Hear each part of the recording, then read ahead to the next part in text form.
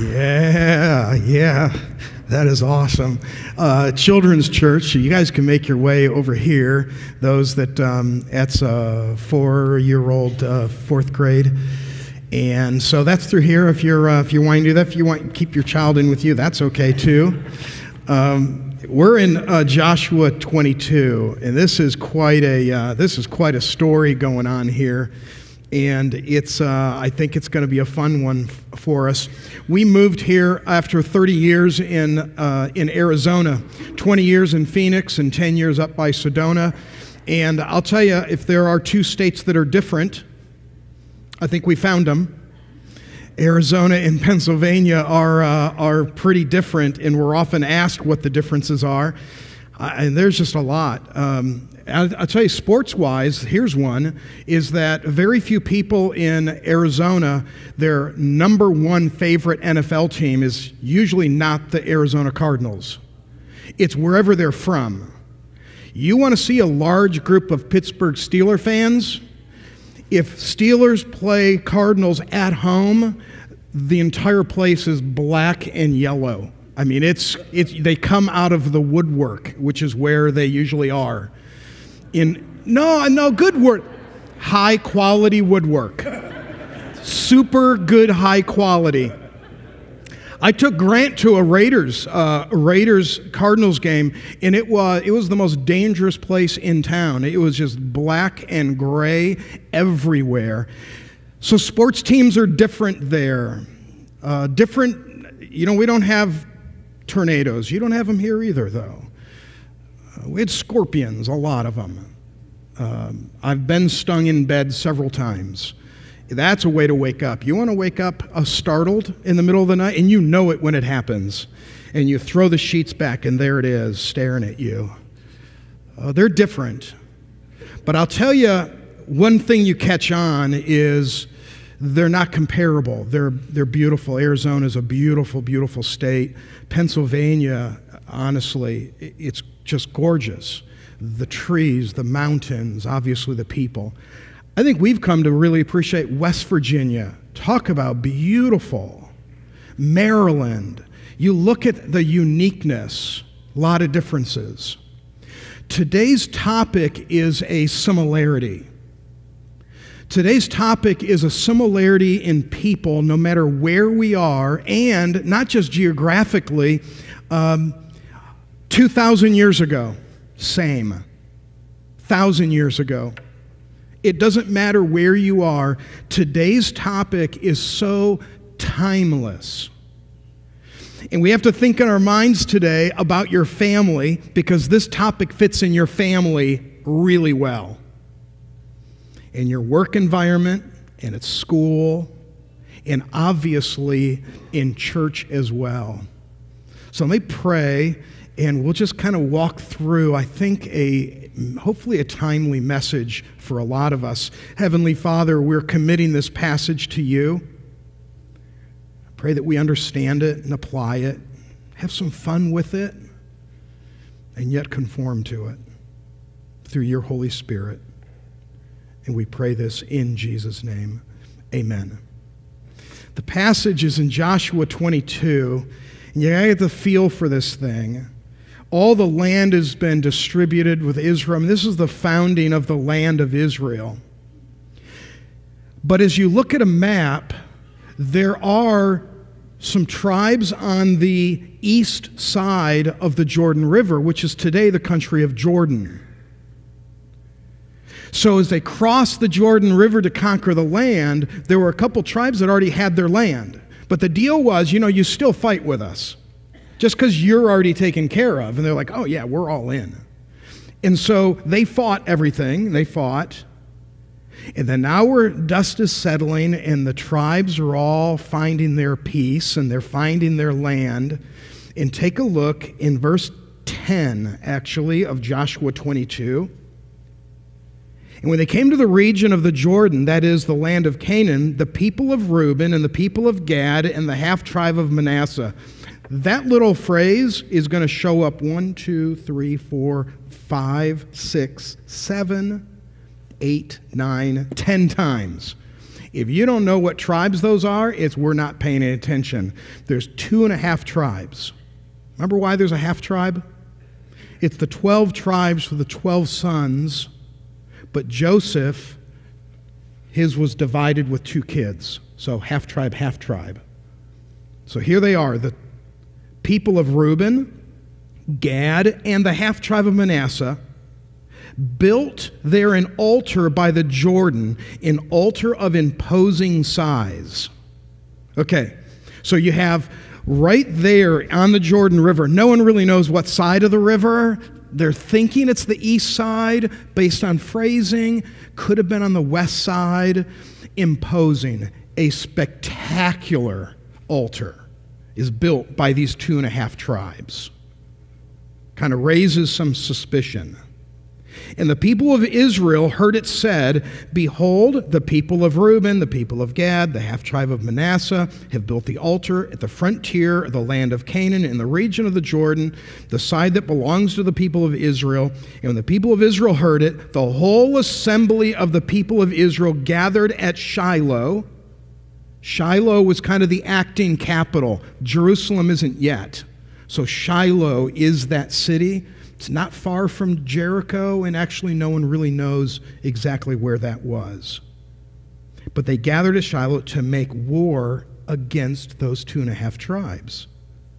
Then the people of Israel sent to the people of Reuben, the people of Gad, and the half tribe of Manasseh in the land of Gilead uh, Phinehas, the son of Eleazar the priest, with him ten chiefs, one from each of the tribe families, every one of them the head of the family among the clans, and they came to the people of Reuben, the people of Gad, and the half tribe of Manasseh in the land of Gilead, and this is what they said Thus says the whole congregation of the Lord.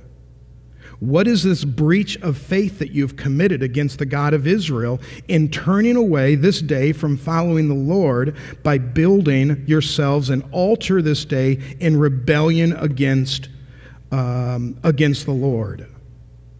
This was this was a disaster. They built this altar. Turns out they built it to honor the fact that we're all unified. They actually built this altar so that their kids and their kids and their kids will always remember just because we're on the trans Jordan side doesn't mean that we're part of the group and yet it was 100% interpreted the other way. So, in your notes, take a look at how all of this started. It's the first point, it's the we heard it said. This is it. Verse 11 And the people of Israel heard it said, Behold, the people of Reuben, Gad, half tribe, have built the altar in the frontier in the region the side that belongs to Israel, and the people heard of it. The whole assembly of the people of Israel gathered at Shiloh to make war against them. We heard it said. All of this is from somebody we don't even know who they are. It literally is the gossip issue. They heard it said. In fact, it went from we heard it said to verse 12 and when the people of Israel heard it, the whole assembly of people of Israel gathered at Shiloh to wage war. This is unbelievable. Because we heard it said. They said. The infamous they. We take complaints, we take concerns, they said, and we pass it along. From a church, a club, an association, boards, committees, families. I think stakes are really high in the church business.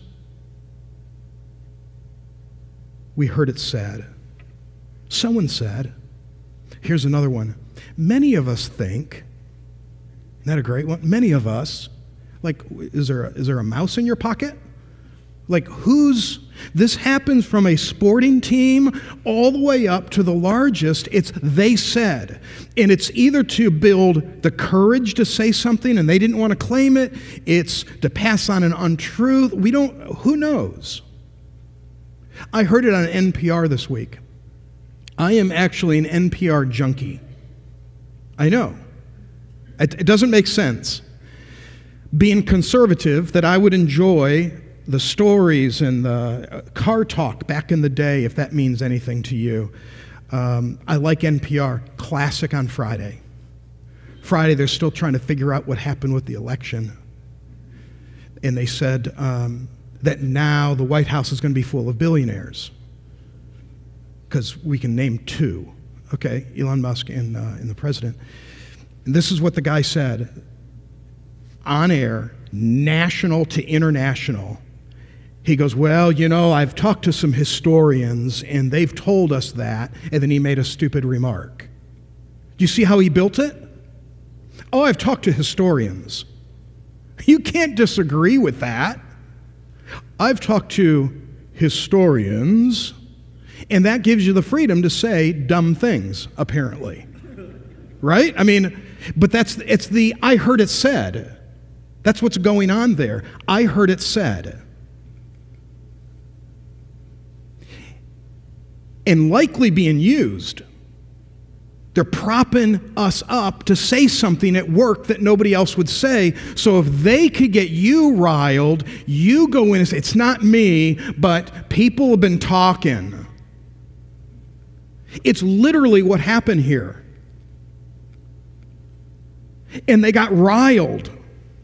They got so riled. Could you imagine? You had to go now to every tribe to get representatives. This isn't like a one day problem or a week long. This took a while. They gathered everybody together to wage war. And look at what some of the accusations were. I circled them all. Um, thus says the whole congregation, it's a breach of faith. Israel is turning away, building an altar. They're thinking a replacement of the altar in Shiloh, later to be in Jerusalem. Rebellion, verse 18, rebel. And then rebels and rebel is used again in verse 19. They got a lot of detail quick. The accusations were outrageous because we heard it said. Listen to the definition of uh, gossip.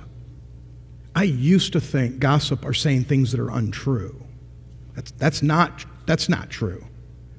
Gossip is conversation that's often light and informal and usually about other people's business. It's the wrong people talking. We talk about things that are about our business. And if it involves somebody else, that's who we go to. So I wrote, I wrote this. We all agree that uh, this talk, that we need to be careful not to have talkers manipulate us. But I have to stop and realize that I'm hypocritical to not say that I'm one of them. I have to be careful. We have to be careful. You and I, who maybe unwisely lack a filter of ideas about somebody, about something that is out of line of what, of what we have business in. This is the great thing about this topic, though could you use something great about it is this is a good time to talk about it because it's not going on. We have boards at the church, everyone has boards and committees that are healthy. This is a disaster passage to show up when the problem is rampant. This is not the time because no one could look each other in the eyes, right? We're like, oh, he's talking about me. No, I'm not talking about anybody but me. That's, that's literally the only one I have in mind. But families should think about this. I remember early on with the kids, when our kids were smaller, when there was a problem, they always came to us. Then I noticed, the youngest now is 22, I noticed when there's a problem, they go to each other and they leave us out. And I used to tell them that. We used to, they come and say, This is what's going on. And I go, You know, there's a day in which you're not going to go to me at all. I'm going to be the problem. And you're going to talk among kids.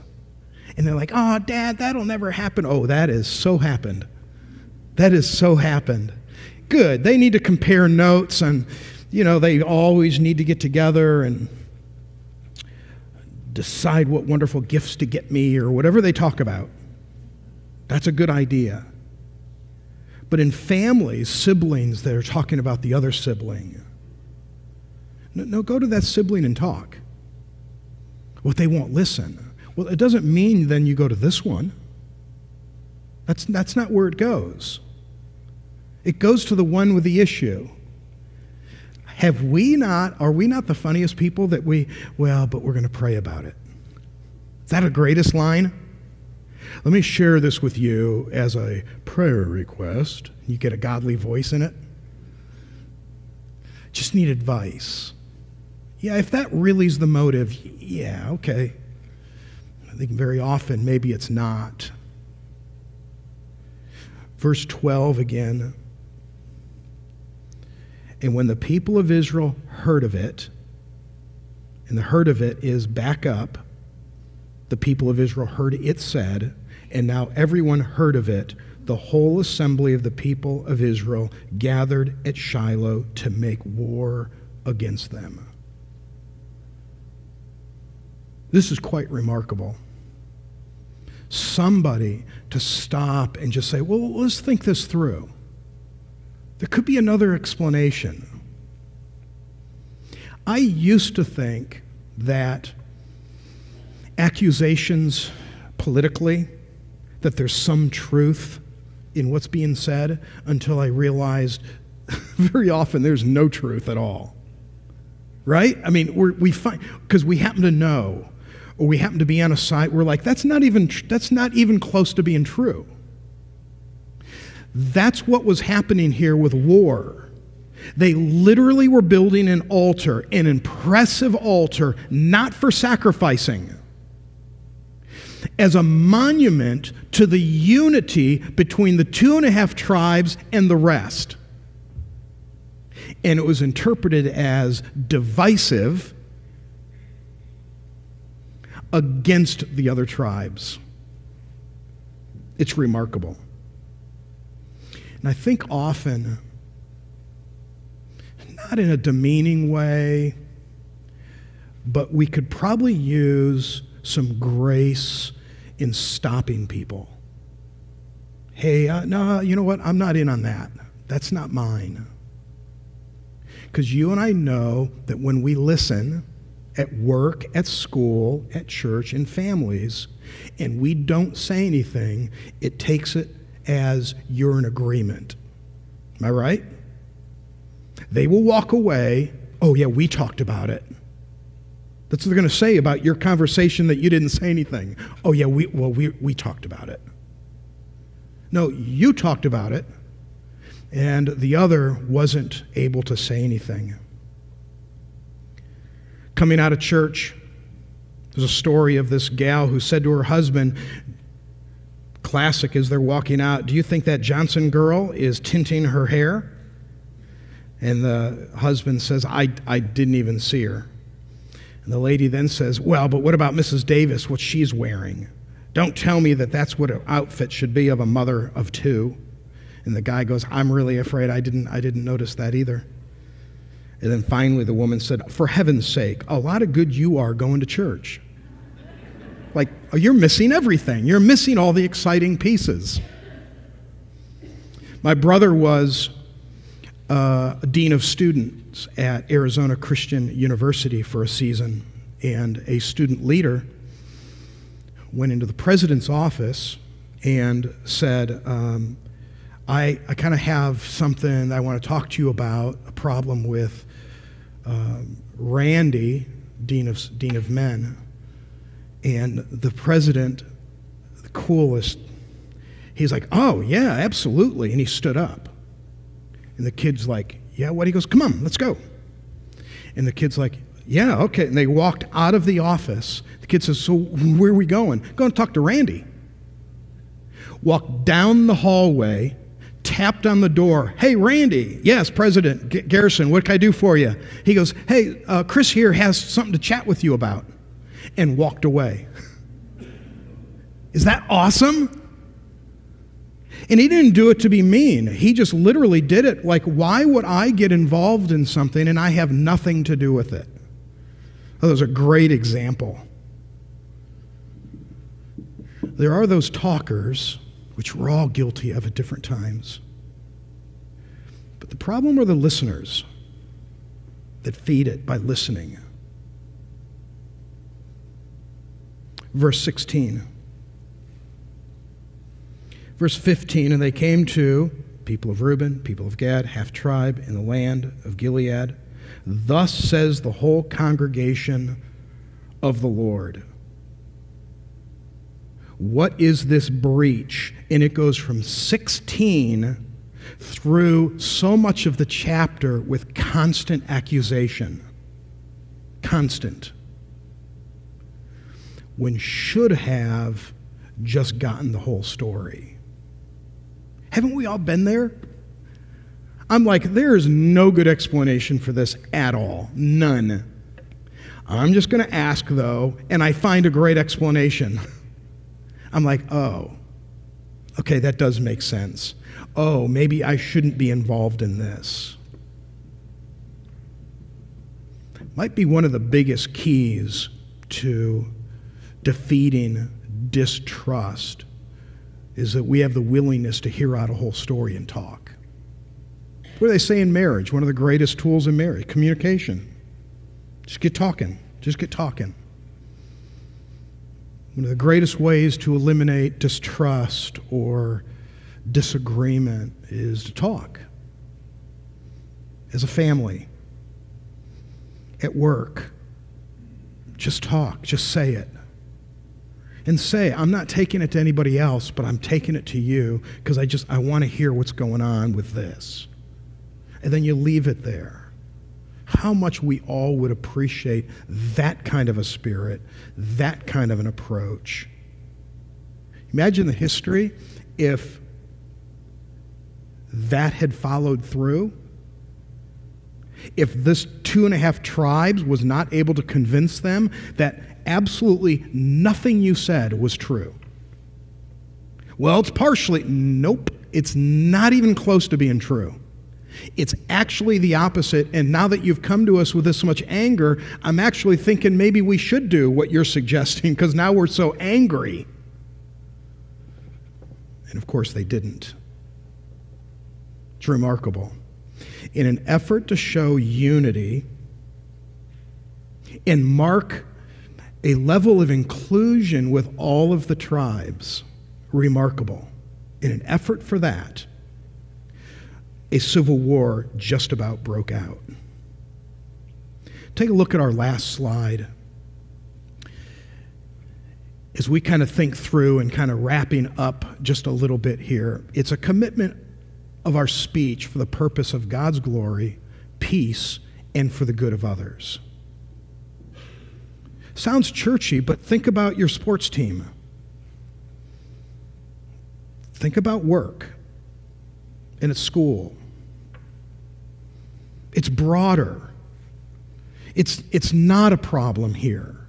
It always, it's because we're all people, right? There's always elements of it, and it's not them, it's us, it's me. But think about your other environments, your club, committing at least yourself to a speech for the purpose of God's glory, peace, and for the good of others. I just read this week uh, a, a cool little, the word think, when someone tells you something or draws you in, the acrostic think, and ask, is it true? That's the T the H and think is it helpful? Is it inspiring? Is it necessary? And is it kind? If not, maybe stop it. Maybe let it go. So there were four preachers, and they were gathered kind of privately and they said, You know, we're hearing people confess stuff all the time. Let's be each other's confession. And they're like, Great idea. I love this.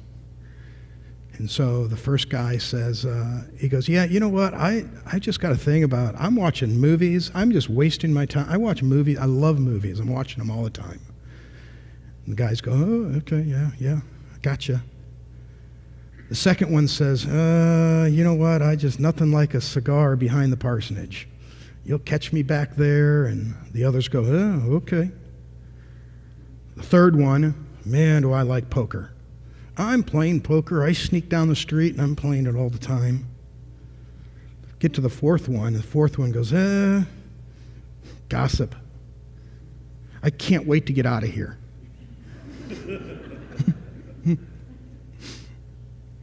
yeah, I don't, I don't know what. Uh, I, there's no control over every, everybody at work. There, you can't. They don't have the same value base that you have at work in a school, in your sports team. Uh, there is, let go of that. Let go of forcing this onto somebody else. Church, family, can't control it. How hypocritical to try to, anyway, to try to tell them that they're wrong. No, no, no, no, no. Take a step back, all of us, and we go, I know who I can control. I can control me. I want to be careful because it could cause problems, maybe in your life, and you've experienced that. Well, I don't know if it's as bad as Joshua 22. That could have been horrible. Somebody stopped it and said, No, no, no, no, no. It's not true. Or let's go together. If you're afraid, I'll go with you to them if, if you can't. But it doesn't belong. What doesn't belong with us doesn't belong with us. And what an encouragement that can be to all of us. Let me end with one more, because uh, I thought it was funny. Is this? A, it's actually in a poem. I can't believe I'm resorting to a poem. So, a woman was waiting at an airport one night with several long hours before her flight, and she hunted in a for a book in the airport shops, and she bought a bag of cookies and found a place to drop. She was engrossed in her book, and, but happened to see that the man sitting beside her, as bold as could be, grabbed a cookie or two from the bag between them. And so she tried to ignore and kind of avoid making a scene. So she munched the cookies and watched the clock as that gutsy cookie thief diminished her stock she was getting more irritated as the minutes ticked by, thinking, it, if it wasn't so nice, I think I'd blacken his eye. With each cookie she took, he took one. When only one was left, she wondered what was going to happen, and when the smile on his face and a nervous laugh, he took the last cookie and broke it in half. He offered her half and ate the other, and she snatched it from him and thought, Oh, brother, this guy has some nerve and he's also rude. Why he didn't even show any gratitude. She had never known that she had been. Um, she had never known when she had been so galled and sighed with relief when her flight was finally called. She gathered her belongings and headed to the gate, refusing to look back at that thieving ingrate. She boarded the plane, sank in her seat when she sought her book, which was almost complete. As she reached in her baggage, she reached with surprise that was uh, her bag of cookies in front of her eyes. If mine are here, she moaned in despair, the others were his and he tried to share. Too late to apologize, she realized with grief that she was the rude one, the ingrate, and the thief. and I thought, what a what a fun little tale that we don't point at somebody else and say they have a problem with. No, we don't do that. We look back at ourselves and say, you know what? Joshua 22 just shows up in the series right here, right now, as a reminder for us to be careful with what's said, be careful with what we hear, that we handle things the right way. And I think the few points in this uh, lesson may be of a little bit of help to us. So let me pray. Heavenly Father, thank you for our salvation through your Son, Jesus Christ. We know that we've sinned and that we are in desperate need of a reunion with you that happens only by faith in what he did for us. So thank you. I pray also, Heavenly Father, that you would help all of us be more free from the distractions of gossip, conversations that don't belong with us and that belong in the right place. So move each of us individually to a right place with this wonderful passage you've given us. In Jesus' name, amen.